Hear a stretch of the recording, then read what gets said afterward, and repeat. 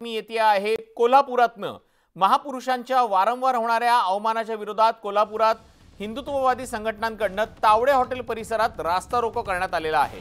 परिसराला पोलीस छावणीचं स्वरूप आलेलं आहे. मोठ्या संख्येनं हिंदुत्ववादी कार्यकर्ते आपला निषेध नोंदवण्यासाठी कोल्हापुरात रस्त्यावरती उतरलेले आहेत. दरम्यान रास्ता रोको करण्यावरनं पोलीस आणि आंदोलकांमध्ये झटापट उडाली.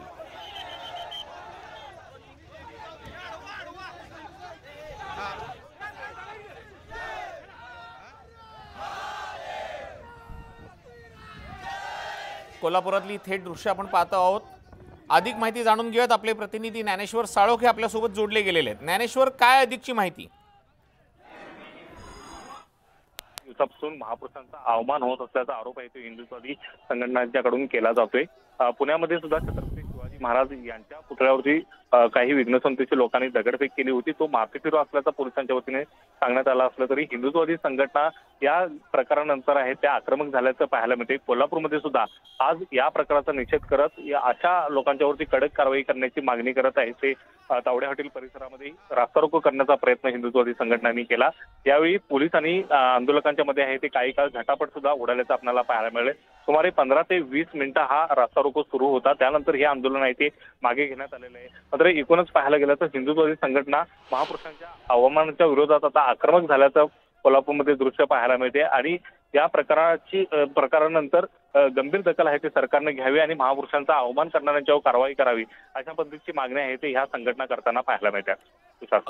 खरं आहे ज्ञानेश्वर आपण पाहतो आहोत की महापुरुषांच्या अवमानांच्या विरोधात हिंदुत्ववादी संघटना आक्रमक झालेल्या आहेत.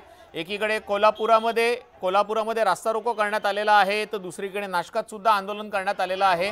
आता कोल्हापुरातनं जाऊयात नाशिकमध्ये. आपले प्रतिनिधी लक्ष्मण घाटोळ आपल्यासोबत जोडले गेलेले आहेत. लक्ष्मण तुमच्या इथले काय अपडेट? मंदिर सिग्नल परिसरामध्ये हे आंदोलन करण्यात आलेलं आहे. नाशिक पुणे महामार्गावरती हिंदुत्ववादी संघटनांनी एकत्र येत छत्रपती शिवाजी महाराज छत्रपती संभाजी महाराज यांचे पोस्टर्स आणि भव्य ध्वज हातामध्ये घेऊन या दत्त मंदिर सिग्नलवरती रास्ता रोको करण्याचा प्रयत्न केलेला आहे.